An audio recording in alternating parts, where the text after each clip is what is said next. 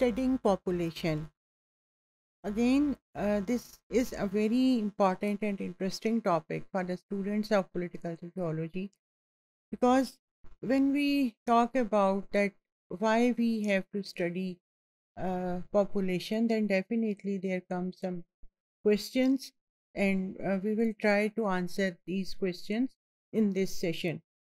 Uh, the study of population and its impact on development has remained a vital study matter in various developmental studies, and specifically the impact of the relationship between the population and uh, the role of development. Then, uh, another important area that is the demography.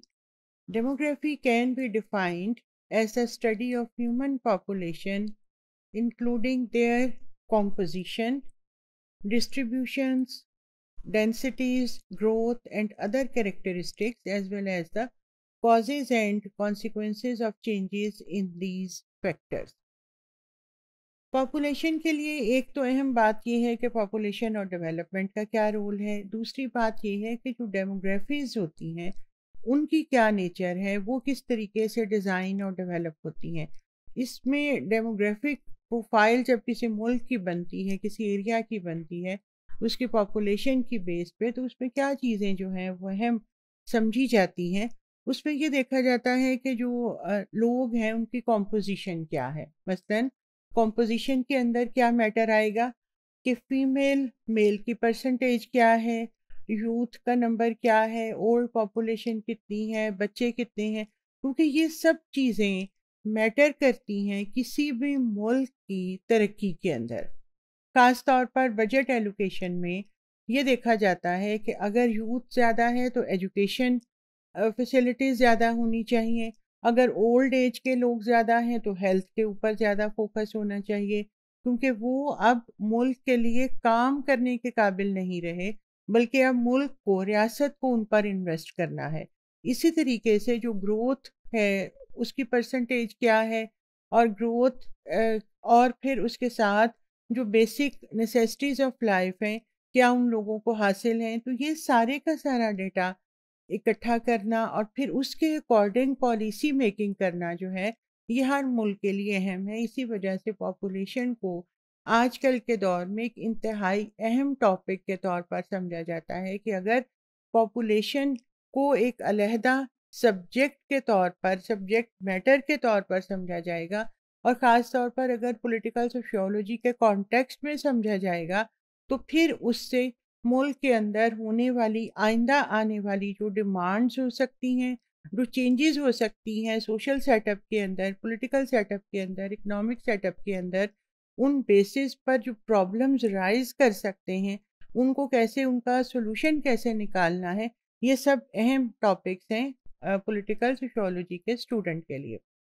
क्योंकि तीन basic factors होते हैं जिस पर जो demography है वो focus करती है और उसमें चेंजेस इन पॉपुलेशन साइज़ जो है वो बहुत ज़्यादा मैटर करता है।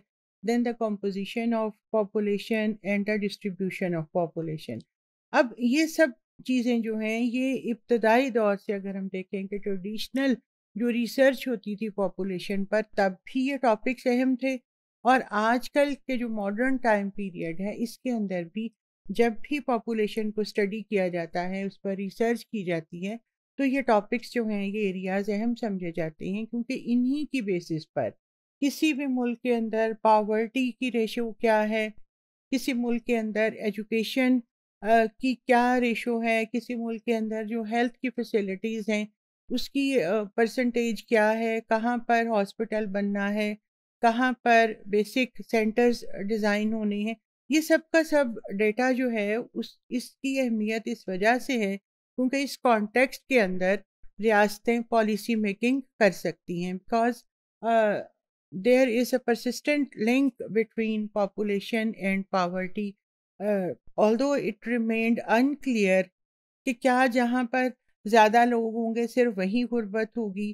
क्या ज़्यादा लोग प्रोडक्टिव नहीं हो सकते? कुछ अर्सा पहले तक ये सवाल बहुत ज़्यादा अनक्लियर था।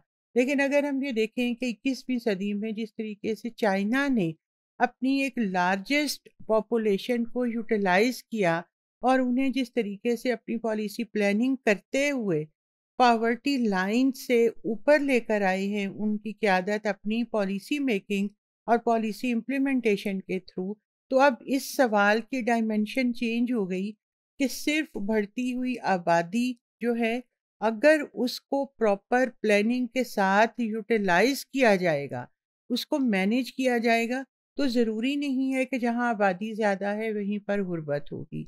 बल्कि ये समझना ज़रूरी है कि जहाँ आबादी है, अगर उस आबादी की प्रॉपर यूटिलाइजेशन होगी तो वहाँ गुर्बत को मैनेज किया जा सकता है।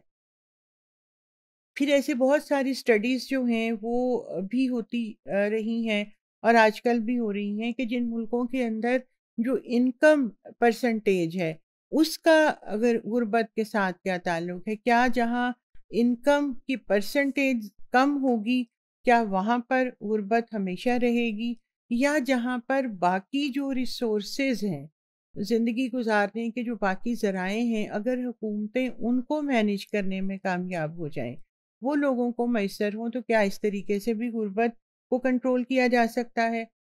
आ, हम समझ सकते हैं कि बहुत सारी जो दुनिया के अंदर इस वक्त फार्मूलाज हैं जो काम कर रहे हैं ये देखा जा सकता है कि जो बहुत सारी जो बड़ी फैमिलीज़ होती हैं वो अपने लोगों को अपने यहाँ अपने जो फैमिली मेंबर्स हैं उनको कैसे जो इंस्ट्रूमेंट बनाती हैं कि वो काम करें और उस ज़्यादा नंबर वाला ख़ानदान जो है वो लोगों को अपने मेंबर्स को काम में इन्वॉल्व करके उनसे फ़ायदा उठाता है। तो क्या इसी तरीके से जो मुल्क हैं वो अपनी आबादी को यूटिलाइज़ कर सकते हैं? लेकिन उसके साथ साथ हमें ये भी देखना है कि अगर बढ़ती हुई आबादी के मुताबिक रिसोर्सेज अवेलेबल नहीं है। अगर ज़राए कम है और नंबर ज़्यादा हो रहा है तो यकीनन उसके दरमियान जो जो गैप है, उसको फिल कैसे किया जा सकता है? अब उसके लिए लोगों को कहाँ कहाँ कंज्यूम किया जा सकता है? लोगों को किन कामों पे लगाया जा सकता है? लोगों को बुनियादी एजुकेशन के साथ साथ स्किल ओरिएंटेड पॉपुलेशन में कैसे कन्वर्ट किया जा सकता है? ये ऐसे आजकल मुतबादल हर जगह पर हमें नज़र आते हैं, मुख्तलिफ़ फिनमिना जहाँ मुख्तलिफ़ रियासतें, मुख्तलिफ़ हुकूमतें अपने अपने तरीके से इन मसाइल पर काम कर रही हैं और मुख्तलिफ़ वे आउट जो हैं वो निकालने की कोशिश की जा रही है। उसमें अहम तरीन बात ये भी है कि आबादी के बारे में पहले अपनी पॉपुलर अपने लोगों को ऐसे इत्तला दी जाए, उनकी उनकी ट्रेनिंग हो कि बढ़ती हुई आबादी जो है, वो हमेशा बहुत फ़ायदा मंद नहीं होती, बल्कि एक मुनासिब तादाद जो है, वो ज़्यादा बेहतर रहती है, ताकि जो ज़राए हैं, वो सबको मैसर आ सकें।